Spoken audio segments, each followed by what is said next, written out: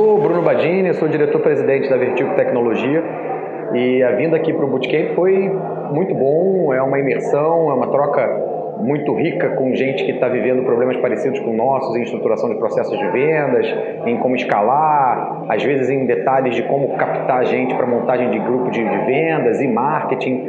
Então, a, o conteúdo do Thiago Reis é espetacular, um cara com uma vivência muito boa, com track record de sucesso em grandes companhias.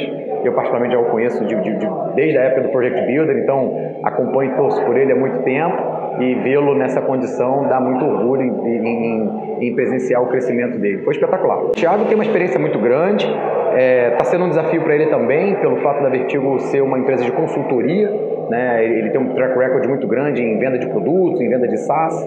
O nosso negócio é uma venda consultiva muito mais complexa, é um, é um processo de venda mais longo.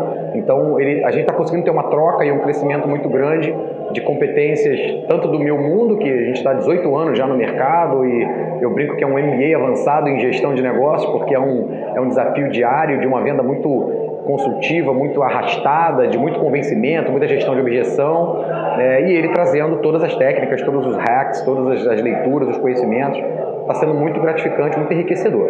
O trabalho do Thiago conosco está em, em andamento, né? Então a gente está exatamente na definição do nosso da persona, do nosso cliente ideal. Acabamos de passar por esse estágio do, do sales persona, então é, tá sendo muito legal. Tá estamos no processo de construção. Eu já conhecia algumas técnicas sim, mas é diferente de aplicação, né? Então a aplicação está sendo muito bacana, muito legal.